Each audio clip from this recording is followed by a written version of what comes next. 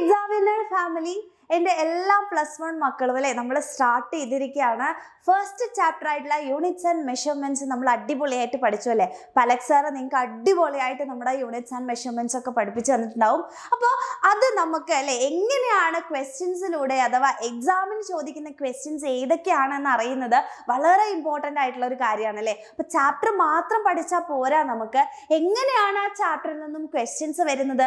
അത് നമുക്ക് ചെയ്യാൻ വേണ്ടി പറ്റുന്നുണ്ടോ എന്നുള്ളത് അറിയണം എന്നുണ്ടെങ്കിൽ നമ്മൾ ഒരുപാട് പ്രീവിയസ് ഇയർ ക്വസ്റ്റ്യൻസ് ചെയ്ത് നോക്കിയേ പറ്റുള്ളൂ. അപ്പോൾ ഈ ചാപ്റ്ററിൽ നിന്ന് മുമ്പ് ചോദിച്ചിട്ടുള്ളതും ഇനി ചോദിക്കാൻ സാധ്യതയും ഒക്കെയുള്ള കുറേ ക്വസ്റ്റ്യൻസ് എടുത്തിട്ടാണ് മിസ് വന്നിട്ടുള്ളത്. അപ്പോൾ ഈ വീഡിയോ നിങ്ങൾ എന്ത് ചെയ്യാം മക്കളെ? ഫുള്ളായിട്ട് കാണുക കേട്ടോ. അപ്പോൾ നിങ്ങൾക്ക് ഈ ഒരു വീഡിയോ യൂസ്ഫുൾ ആയിട്ട് തോന്നുകയാണ്. ഈ ക്വസ്റ്റ്യൻസ് ഒക്കെ അല്ലെ എന്റെ ഫ്രണ്ട്സിനൊക്കെ അറിയണമെന്ന് ആഗ്രഹമുണ്ട് എന്ന് നിങ്ങൾക്ക് തോന്നുകയാണെങ്കിൽ മാക്സിമം ഫ്രണ്ട്സിന് ഈ ഒരു വീഡിയോന്റെ ലിങ്ക് നിങ്ങൾ ഷെയർ ചെയ്ത് കൊടുക്കാം ക്ലിയർ ആണല്ലോ? പിന്നെ ആരെങ്കിലും നമ്മുടെ ചാനൽ ഇവിടെ സബ്സ്ക്രൈബ് ചെയ്യാതിരിക്കുന്നുണ്ടെങ്കിൽ വേഗം തന്നെ നമ്മുടെ സബ്സ്ക്രൈബ് ബട്ടൺ പോയിട്ട് വേഗം ക്ലിക്ക് ചെയ്തോളൂ. കാരണം നിങ്ങൾക്ക് യൂസ്ഫുൾ ആയിട്ടുള്ള ഒരുപാട് ഒരുപാട് ഒരുപാട് വീഡിയോസ് ഇവിടെ വരാൻ വേണ്ടി പോകുന്നുണ്ട് കേട്ടോ. അപ്പം അതുകൊണ്ടാണ് അപ്പം നമുക്ക് ഓരോ ക്വസ്റ്റ്യൻസ് യൂണിറ്റ്സ് ആൻഡ് മെഷർമെന്റ്സ് വളരെ സിമ്പിൾ ആയിട്ടുള്ള ഒരു ചാപ്റ്റർ ആണ്. ബാക്കിയുള്ള നമ്മുടെ യൂണിറ്റ്സിനെ ഒക്കെ അപേക്ഷിച്ച് നോക്കുമ്പോൾ വളരെ സിമ്പിൾ ചാപ്റ്റർ ആണ്. അപ്പം അതിൽ നിന്നുള്ള വളരെ സിമ്പിൾ ആയിട്ടുള്ള ക്വസ്റ്റ്യൻസ് തന്നെയാണ് ചോദിക്കുന്നത് കേട്ടോ. അപ്പം നമുക്ക് ഓരോ ക്വസ്റ്റ്യൻസ് ആയിട്ട് നമുക്ക് എന്ത് ചെയ്യാം? ഡിസ്കസ് ചെയ്യാം. അപ്പോൾ ഫസ്റ്റ് ക്വസ്റ്റ്യൻ എന്ന് പറയുന്നത് നോക്കൂ. Light year is the unit of എന്ന് പറഞ്ഞിട്ടാണ് ചോദിച്ചിട്ടുള്ളത്. അപ്പോൾ ഇതൊരു വൺ മാർക്ക് ക്വസ്റ്റ്യൻ ആയിട്ടാണ് ചോദിക്കുക. നിങ്ങൾ ആലോചിച്ച് നോക്കുക നമ്മൾ പഠിച്ചിട്ടുണ്ട് അല്ലേ? ലൈറ്റ് ഇയർ എന്ന് പറയുന്നത് ഒരു ലൈറ്റ് ഇയർ എന്ന് വെച്ച് കഴിഞ്ഞാൽ എന്താണ് മക്കളെ? നമുക്കറിയാം ഒരു അല്ലെ ഒരു- ലൈറ്റ് ഇയർ എന്ന് വെച്ച് കഴിഞ്ഞാൽ ഒരു വർഷത്തിൽ അഥവാ ഒരു ഇയറിൽ നമ്മുടെ ലൈറ്റ് ട്രാവൽ ചെയ്യുന്ന ഡിസ്റ്റൻസിനെയാണ് നമ്മൾ ഒരു ലൈറ്റ് ഇയർ എന്ന് പറയുന്നത്. അല്ലെ? ഒരു വർഷം എടുക്കുകയാണെങ്കിൽ ഇപ്പൊ മിസ്സിന്റെ ബർത്ത്ഡേ ഒക്ടോബർ ട്വന്റി തേർഡ് ആണ്. അല്ലെ? അപ്പൊ ഈ വർഷം ഒക്ടോബർ ട്വന്റി തേർഡ് തൊട്ടിട്ട് അടുത്ത വർഷം ഒക്ടോബർ ട്വന്റി തേർഡ് വരെ അതായത് ഒരു വർഷത്തിൽ നമ്മുടെ ലൈറ്റ് ഇങ്ങനെ ട്രാവൽ ചെയ്ത് പോവുകയാണ് എന്നുണ്ടെങ്കിൽ എത്ര ദൂരം നമ്മുടെ ലൈറ്റ് സഞ്ചരിച്ചിട്ടുണ്ടാവും ഒരു വർഷം കൊണ്ട് എന്നുള്ളതിനെയാണ് നമ്മുടെ ലൈറ്റ് ഇയർ കൊണ്ട് ഉദ്ദേശിക്കുന്നത്. അപ്പൊ ലൈറ്റ് ഇയർ എന്താണ്? ഇറ്റ് ഈസ് എ ആ യെസ് ഡിസ്റ്റൻസിന്റെ യൂണിറ്റ് ആണ് എന്നാണ് നമുക്ക് മനസ്സിലാക്കാനുള്ളത് കേട്ടോ. അപ്പൊ പ്രത്യേകിച്ച് ലൈറ്റ് ഇയർ എന്നൊക്കെ കേൾക്കുമ്പോൾ അത് ടൈമാണ് അല്ലേ? ടൈം ആണല്ലോ ഇയർ അല്ലേ എന്നൊക്കെ നമുക്ക് തോന്നും. പക്ഷെ അതല്ല ഇത് ഡിസ്റ്റൻസ് ആണ് കൺഫ്യൂസ് ചെയ്യിപ്പിക്കാൻ വേണ്ടിയിട്ടുള്ള ഒരു ക്വസ്റ്റൻ ആണ് കേട്ടോ. അപ്പോൾ നിങ്ങൾ അറിഞ്ഞിരുന്നു കഴിഞ്ഞാൽ നമുക്ക് എളുപ്പമാണ് ഫിൽ ഇൻ ദ ബ്ലാങ്ക്സ് എന്ന് പറഞ്ഞിട്ടുള്ള ക്വസ്റ്റൻ ആണ് അടുത്തത്. ഓക്കെ അപ്പൊ എസ് ഐ യൂണിറ്റ്സ് എപ്പോഴും പഠിച്ചു വെക്കണം. നമ്മുടെ ഫണ്ടമെന്റൽ ആയിട്ടുള്ള യൂണിറ്റ്സിന്റെ എസ് ഐ യൂണിറ്റുകളും ഏഴ് ഫണ്ടമെന്റൽ യൂണിറ്റ്സ് നമ്മൾ പഠിച്ചിട്ടുണ്ട്. രണ്ട് സപ്ലിമെന്ററി യൂണിറ്റ്സും നമ്മൾ പഠിച്ചു. അല്ലെ? അപ്പൊ അത് എങ്ങനെ ഫില്ല് ചെയ്യാൻ വേണ്ടി പറ്റൂ? ഫില്ലപ്പ് ചോദിക്കും. അല്ലെങ്കിൽ ഏതെങ്കിലും ഒരു ആളുടെ യൂണിറ്റ് ആയിരിക്കും ചോദിക്കുക. അപ്പൊ നിങ്ങൾ നല്ല പോലെ അറിഞ്ഞിരിക്കേണ്ട ഒരു കാര്യമാണ് കേട്ടോ. അപ്പൊ ഫസ്റ്റ് നോക്കിക്കേ ലെങ്ത് ലെങ്ത് മീറ്റർ ആണെന്ന് ഓൾറെഡി തന്നിട്ടുണ്ട് അല്ലേ? അപ്പൊ മാസ് എന്താണ്? നിങ്ങൾക്ക് എല്ലാവർക്കും അറിയാം. അതെന്താ? കിലോഗ്രാം അല്ലേ? അപ്പൊ നമ്മൾ അവിടെ എഴുതുക കിലോഗ്രാം അടുത്തത് എന്താ നോക്കിയേ സെക്കൻഡ് അല്ലെ? സെക്കൻഡ് എന്തിന്റെ യൂണിറ്റ് ആണ്? ഇപ്പൊ നിങ്ങൾ എല്ലാവരും അവിടെ കിടന്ന് പറഞ്ഞിട്ടുണ്ടാവും മിസ്സിന് അറിയാം. ടൈമാണ് അല്ലെ? ടൈമിന്റെ ആണ് സെക്കൻഡ് എന്ന് പറയുന്നത്. അടുത്തത് എന്താ നോക്കിക്കേ? ഇലക്ട്രിക് കറണ്ട് അല്ലെ? ഇലക്ട്രിക് കറണ്ട് നമ്മൾ എന്തിലാണ് അളക്കുന്നത്? വെരി ഗുഡ് ആംബിയറിലാണ് അളക്കുന്നത്. അല്ലെ? വെരി ഈസി ക്വസ്റ്റ്യൻ ആണ്. ആംബിയറിലാണ് തെർമോഡൈനാമിക് ടെമ്പറേച്ചർ നമ്മുടെ ടെമ്പറേച്ചർ എന്തിലാണ് അളക്കുന്നത്? വെരി ഗുഡ് കെൽവിൻ സ്കെയിലിലാണ് കേട്ടോ കെൽവിൻ ആണ്. സോ കെൽവിൻ ഓക്കെ അപ്പൊ ടെമ്പറേച്ചറിന്റെ യൂണിറ്റ് എന്ന് പറയുന്നത് എസ് ഐ യൂണിറ്റ് എന്ന് പറയുന്നത് കെൽവിൻ ആണെന്ന് ഓർക്കുക. ഡിഗ്രി സെൽഷ്യസ് അല്ല. മോൾ അല്ലെ? മോൾ എന്ന് പറയുന്നത് എന്തിന്റെയാണ്? വെരി ഗുഡ് എമൗണ്ട് ഓഫ് സബ്സ്റ്റൻസിന്റെ ആണ് കേട്ടോ amount of substance okay amount of സബ്സ്റ്റൻസിനെയാണ് നമ്മൾ മോളിൽ അളക്കുന്നത്. ഇനി ക്യാൻഡല അല്ലെ? ക്യാൻഡല എന്ന് വെച്ചാൽ ലൈറ്റിന്റെ ഇന്റൻസിറ്റി അളക്കാൻ വേണ്ടിയിട്ടാണ് ഉപയോഗിക്കുന്നത്. അപ്പൊ കൃത്യമായിട്ട് ലൂമിനസ് ഇന്റൻസിറ്റി എന്ന് പറയാം. Okay luminous intensity okay luminous intensity ആണ് ക്യാൻഡല ക്ലിയർ അപ്പോൾ ഈ ഒരു ടേബിൾ നിങ്ങൾ കംപ്ലീറ്റ് ആയിട്ട് ഫില്ല് ചെയ്ത് കഴിയുക അല്ലെ? നല്ലപോലെ ഫില്ല് ചെയ്ത് കഴിഞ്ഞാൽ ഫുൾ മാർക്ക് തന്നെ കിട്ടും. അപ്പോൾ കൃത്യമായിട്ട് തന്നെ നിങ്ങൾ ഫില്ല് ചെയ്യാൻ വേണ്ടി എന്റെ മക്കൾ ഓർക്കാട്ടോ. കേട്ടോ അപ്പോൾ നമ്മളിപ്പോൾ പഠിച്ചു. അത്രയേ ഉള്ളൂ. വളരെ സിമ്പിൾ അടുത്ത ക്വസ്റ്റ്യൻ നോക്കിക്കേ. Pick out the fundamental units from the following എന്നാണ് ചോദിച്ചത്. അപ്പോൾ താഴെ കുറച്ച് യൂണിറ്റ്സ് തന്നിട്ടുണ്ട്. അതിൽ ഫണ്ടമെന്റൽ ആയിട്ടുള്ള യൂണിറ്റ് അഥവാ നമ്മുടെ എസ് ഐ യൂണിറ്റ് ഏതാണ്? ഫണ്ടമെന്റൽ യൂണിറ്റ് ഏതാണെന്ന് ചോദിച്ചത്? Second metre per second newton and joule വേഗം പറഞ്ഞ് ഏതാണ് നമ്മുടെ ഫണ്ടമെന്റൽ ആയിട്ടുള്ള യൂണിറ്റ് എന്ന് പറയുന്നത്? നിങ്ങൾക്ക് എല്ലാവർക്കും അറിയാലോ ഫണ്ടമെന്റൽ യൂണിറ്റ് നിങ്ങൾ ആലോചിച്ച് നോക്കുക. Metre per second newton joule അല്ലെ? ഇതെല്ലാം ഫണ്ടമെന്റൽ ആയിട്ടുള്ള ആൾക്കാരാണോ? അല്ല അല്ലെ? പക്ഷേ സെക്കൻഡ് ഫണ്ടമെന്റൽ ആയിട്ടുള്ളതാണ് അഥവാ നമ്മളുടെ ടൈമിന്റെ യൂണിറ്റ് ആണ്. ബാക്കി എല്ലാം ഡിറൈവ്ഡ് ആയിട്ടുള്ള ക്വാണ്ടിറ്റീസിന്റെ യൂണിറ്റ് ആണ്. ഫണ്ടമെന്റൽ ക്വാണ്ടിറ്റിന്റെ യൂണിറ്റ് ആയിട്ട് ഇവിടെ ഒരേ ഒരാളേ ഉള്ളൂ. അത് സെക്കൻഡ് ആണെന്ന് നിങ്ങൾ മനസ്സിലാക്കുക. ക്ലിയർ വെരി ഈസി ക്വസ്റ്റ്യൻ അടുത്ത ക്വസ്റ്റ്യൻ നോക്കിക്കേ. Write the S I unit of the following fundamental units അല്ലെ താഴെ തന്നിരിക്കുന്ന ഫണ്ടമെന്റൽ യൂണിറ്റുകൾ കുറച്ചെണ്ണം തന്നിട്ടുണ്ട് അല്ലെ? അതിന്റെ എസ് ഐ യൂണിറ്റ് ആണ് എഴുതാൻ പറഞ്ഞിരിക്കുന്നത്. ഫസ്റ്റ് എന്താ നോക്കിക്കേ? ഇലക്ട്രിക് കറന്റ് ഇലക്ട്രിക് കറന്റിന്റെ ഏതാണ്?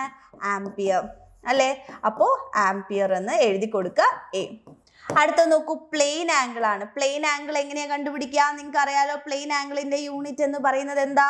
റേഡിയൻ അല്ലേ?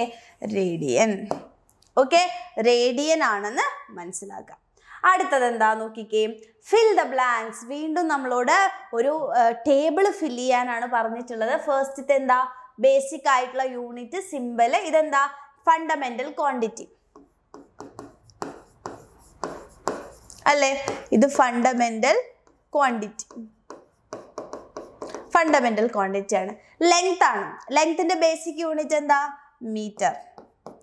സിമ്പൽ എന്താ? സ്മോൾ ലെറ്റർ എം അടുത്തത് ഇലക്ട്രിക് കറണ്ട് ഇലക്ട്രിക് കറണ്ടിന്റെ ബേസിക് യൂണിറ്റ് എന്താ? ആംപിയർ അല്ലേ? ആംപിയർ ക്യാപിറ്റൽ എ ആണ് നമ്മളുടെ സിമ്പിൾ അടുത്തത് നോക്കൂ. മോൾ സിമ്പിൾ തന്നിട്ടുണ്ട്.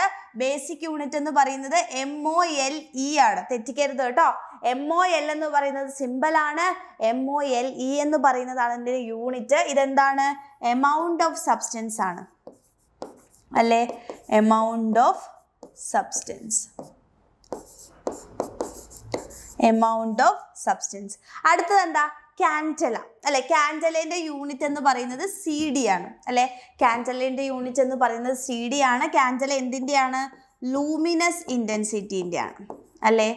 ലൂമിനസ് ഇന്റൻസിറ്റി ലൂമിനസ് ഇന്റൻസിറ്റിന്റെ യൂണിറ്റ് ആണ് നമ്മളുടെ കാന്റല എന്ന് പറയുന്നത്. ക്ലിയർ യെസ് അടുത്തത് നോക്കൂ. ഡിഫൈൻ പ്ലെയിൻ ആംഗിൾ എന്നാണ് ചോദിച്ചിട്ടുള്ളത് അല്ലേ? പ്ലെയിൻ ആംഗിളിനെ ഡിഫൈൻ ചെയ്യാനാണ് പറഞ്ഞിട്ടുള്ളത്. അപ്പം നമുക്കറിയാം പ്ലെയിൻ ആംഗിൾ എന്ന് വെച്ച് കഴിഞ്ഞാൽ എന്താ മക്കളെ? ഒരു സർക്കിൾ അല്ലേ? ഒരു പ്ലെയിനിൽ നമ്മളൊരു സർക്കിൾ വരയ്ക്കുകയാണ്.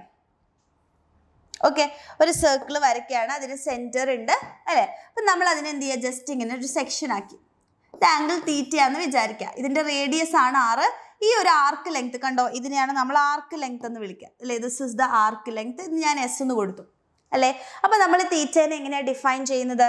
തീറ്റ ഈസ് ഈക്വൽ ടു അല്ലേ? Arc length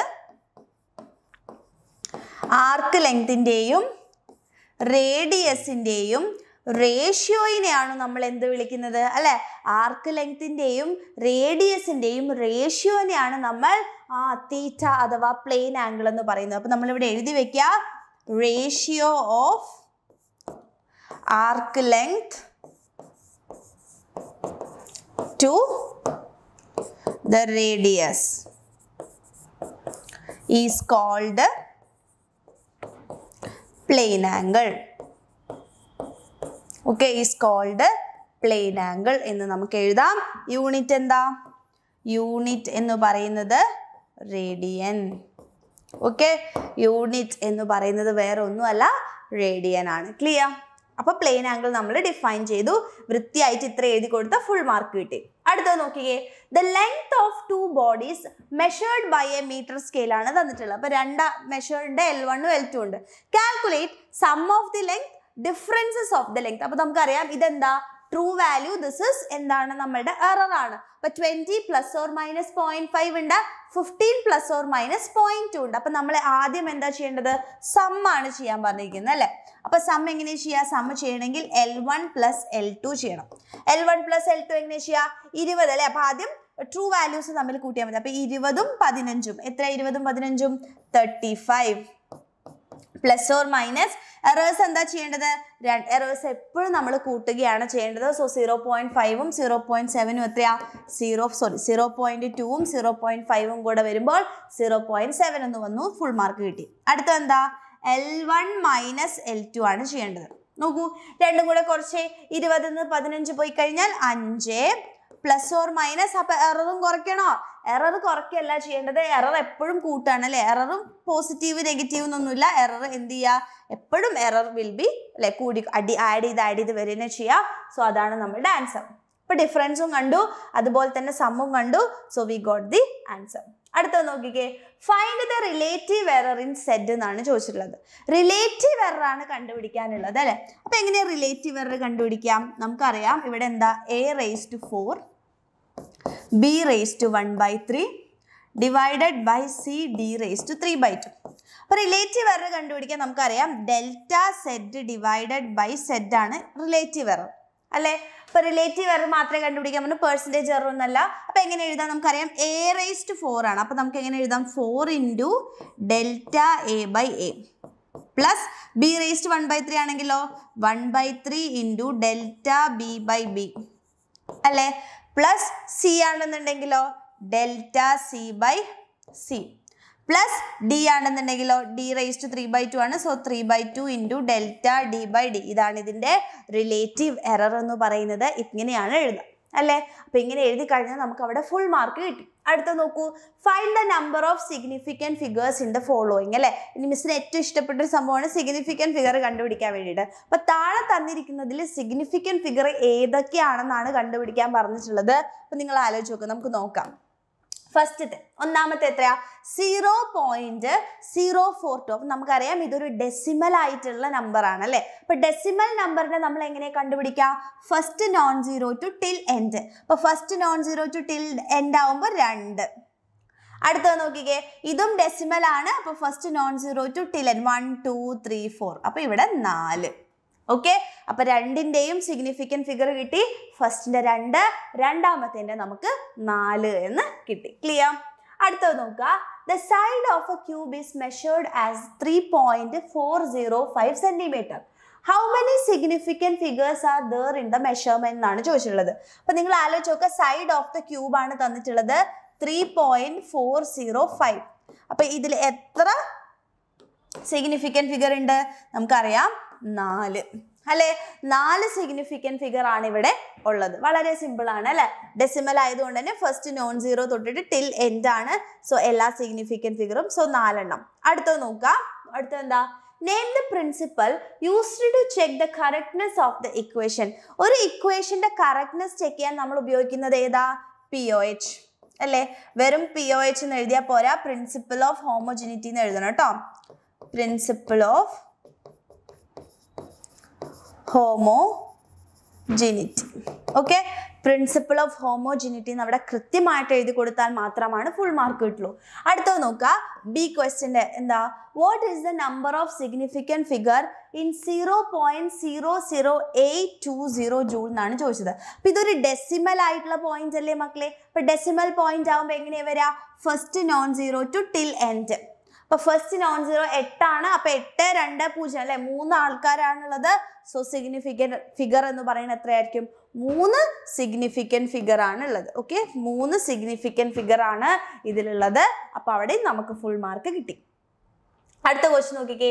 State the number of significant figures in the following എന്നാണ് ചോദിച്ചത്.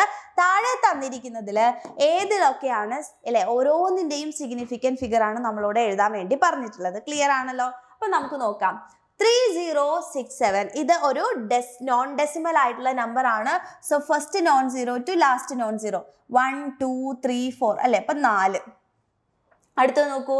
രണ്ടാമത്തെ ആൾ ഡെസിമൽ ആണ് കുത്തുണ്ട്. അപ്പൊ first non zero to last non zero one two three അല്ലേ? ത്രീ അല്ലെ? ഡെസിമൽ ആവുമ്പോൾ മക്കളെ മനസ്സിലാക്കുക ഡെസിമൽ നമ്പർ ആവുമ്പോൾ ആദ്യത്തെ നോൺ സീറോ തൊട്ട് അവസാനം വരെ എന്താണ് സിഗ്നിഫിക്കന്റ് ആണെന്ന് മനസ്സിലാക്കണം കേട്ടോ. അടുത്തത് നോക്കിക്കേ. അടുത്തതിലും പോയിന്റ് ഉണ്ട്. സോ അത് ഡെസിമൽ തന്നെയാണ്. ഫസ്റ്റ് നോൺ സീറോ തൊട്ട് ലാസ്റ്റ് വരെ. One two three four five അഞ്ച്. റെഡി അടുത്ത നോക്കിക്കേ. ഇതും പോയിന്റ് ഉള്ളതാണ്. So first non zero to till end one two three four four ready ആണോ? ക്ലിയർ ആണോ? അടുത്തത് നോക്കിക്കേ. The length breadth and thickness of a rectangular sheet തന്നിട്ടുണ്ട്. ഓക്കെ ബ്രെഡ്ത്ത് തന്നിട്ടുണ്ട് ലെങ്ത് ബ്രെഡ്ത്ത് തിക്നെസ് ആണ് തന്നിട്ടുള്ളത്. Calculate the volume of the sheet to correct significant figure ആണ് ചോദിച്ചിട്ടുള്ളത്. അപ്പോൾ കറക്റ്റ് സിഗ്നിഫിക്കന്റ് ഫിഗറിലേക്ക് ഇതിനെ മാറ്റണം കേട്ടോ. അപ്പോൾ നോക്കിക്കേ എങ്ങനെയാ നമ്മൾ വോളിയം കണ്ടുപിടിക്കാം? നമുക്കറിയാം വോളിയം കണ്ടുപിടിക്കാൻ length into breadth into height ആണ്. അല്ലേ? അപ്പം ഇതിനൊക്കെ ഗുണിക്കണം. Four point two three four into അല്ലേ? One point zero zero five into two point zero one okay അല്ലേ? ഫോർ പോയിന്റ് ടു പോയിന്റ് അപ്പോൾ നമ്മൾ എന്ത് ചെയ്യണം? ആദ്യം ഇതിന്റെ വോളിയം നമ്മൾ കാൽക്കുലേറ്ററിൽ നിന്ന് കണ്ടുപിടിക്കാം. എത്രയായിരുന്നു? Four point two three four into one point zero zero five into two point zero one അപ്പോൾ നമുക്ക് ഉത്തരം കിട്ടിയത് eight point five five two eight nine okay അപ്പം നിങ്ങൾ നമ്മൾ ആലോചിച്ച് നോക്കേണ്ടത് എന്താണെന്ന് വെച്ച് കഴിഞ്ഞാൽ ഇതിന് നമ്മൾ എത്ര സിഗ്നിഫിക്കന്റ് ഫിഗറിലേക്കാണ് റൗണ്ട് ഓഫ് ചെയ്യേണ്ടത്? നമുക്കറിയാം ആ മൾട്ടിപ്ലിക്കേഷൻ ആവുന്ന സമയത്ത് ടോട്ടൽ ആയിട്ടുള്ള അല്ലെ മൾട്ടിപ്ലിക്കേഷൻ ആകുമ്പോൾ ടോട്ടൽ ആയിട്ടുള്ള സിഗ്നിഫിക്കന്റ് ഫിഗർ നോക്കണം. ഇവിടെ മൊത്തം നാല് സിഗ്നിഫിക്കന്റ് ഫിഗർ ആണ് ഇവിടെയും നാലാണ് ഇവിടെ മൂന്നാണ്. അപ്പോൾ ആൻസറിൽ മൂന്ന് സിഗ്നിഫിക്കന്റ് ഫിഗറേ വരാൻ പാടുള്ളൂ. അപ്പോൾ ആൻസറിൽ മൂന്ന് സിഗ്നിഫിക്കന്റ് ഫിഗറേ വരാൻ പാടുള്ളൂ. അപ്പോൾ ഈ മൂന്നാണ് വരിക അല്ലേ? അപ്പോൾ മൂന്ന് സിഗ്നിഫിക്കന്റ് ഫിഗർ വരണം എന്നുണ്ടെങ്കിൽ നിങ്ങൾ ആലോചിച്ച് നോക്കൂ. ദേ ഇവിടെ ടു ആണ്. അല്ലേ? അപ്പം ടു ആയതുകൊണ്ട് നമുക്ക് എങ്ങനെ തന്നെ എഴുതാം? എയ്റ്റ് പോയിന്റ് ഫൈവ് ഫൈവ് എന്ന് തന്നെ നമുക്ക് എഴുതാം. അല്ലേ? അപ്പോൾ ആൻസർ എന്തായിരിക്കും? അല്ലേ ടു എന്ന് പറയുന്ന അഞ്ചിനേക്കാൾ താഴെയാണല്ലോ. അപ്പം നമുക്ക് എയ്റ്റ് പോയിന്റ് ഫൈവ് ഫൈവ് എന്ന് തന്നെയാണ് എഴുതേണ്ടി വരിക. ക്ലിയർ ക്ലിയർ ക്രിസ്റ്റൽ ക്ലിയർ അപ്പോൾ എയ്റ്റ് പോയിന്റ് ഫൈവ് ഫൈവ് ആണ് നമ്മളുടെ മൂന്ന് സിഗ്നിഫിക്കന്റ് ഫിഗറിലേക്കാണ് നമ്മൾ എന്ത് ചെയ്യേണ്ടത്? അതിനെ അപ്രോക്സിമേറ്റ് ചെയ്ത് അല്ലെങ്കിൽ വാല്യൂ ചെയ്ത് എഴുതേണ്ടത്. അപ്പോൾ നമ്മൾ അങ്ങനെ എഴുതി. ക്ലിയർ ആണോ? അപ്പോൾ നമ്മൾ കുറേ ക്വസ്റ്റ്യൻസ് യൂണിറ്റ്സ് ആൻഡ് മെഷർമെന്റ്സ് എന്ന് നമ്മൾ ചെയ്തിട്ടുണ്ട്. അപ്പോൾ ഇത് വെറും പാർട്ട് വണ്ണ് മാത്രമാണ്. ഇനിയും നമുക്ക് ഒരുപാട് ക്വസ്റ്റ്യൻസ് ഈ ഭാഗത്തു നിന്ന് ചെയ്യാനുണ്ട്. അപ്പോൾ അതൊക്കെ നമ്മൾ ചെറിയ ചെറിയ വീഡിയോസ് ആയിട്ട് നിങ്ങളുടെ മുന്നിലേക്ക് വരുന്നതായിരിക്കും. അപ്പോൾ അടുത്ത ഇതുപോലെയുള്ള ഷുവർ ആയിട്ട് എക്സാമിന് ചോദിക്കാൻ സാധ്യതയുള്ള ക്വസ്റ്റ്യൻസ് ഒക്കെ എടുത്തിട്ട് മിസ് വരുന്നുണ്ടാവും. അപ്പം നിങ്ങൾ എന്ത് ചെയ്യുക ഏത് ഭാഗത്ത് നിന്നാണ്? അതായത് നമ്മൾ കുറേ ഭാഗങ്ങൾ പഠിച്ചു അല്ലേ? എന്തൊക്കെ പഠിച്ചു നമ്മൾ സിഗ്നിഫിക്കന്റ് ഫിഗർ റൗണ്ട് ഓഫ് അതുപോലെ തന്നെ എറേഴ്സ് ഡയമെൻഷണൽ അനാലിസിസ് ഇങ്ങനെ നമ്മൾ ഒരുപാട് ടോപ്പിക് പഠിച്ചു. അപ്പോൾ ഏത് ടോപ്പിക്കാണ് നിങ്ങൾക്ക് കുറേ ബുദ്ധിമുട്ടായിട്ട് തോന്നുന്നത്? ആ ടോപ്പിക്കിൽ നിന്നുള്ള കുറേ ക്വസ്റ്റ്യൻസ് ആണ് വേണ്ടത് എന്ന് അല്ലെങ്കിൽ ഏത് ടോപ്പിക്കിൽ നിന്നുള്ള ക്വസ്റ്റ്യൻസ് ആണ് നിങ്ങൾക്ക് വേണ്ടത് എന്നുള്ളത് താഴെ നിങ്ങൾ കമന്റ് ചെയ്യുക.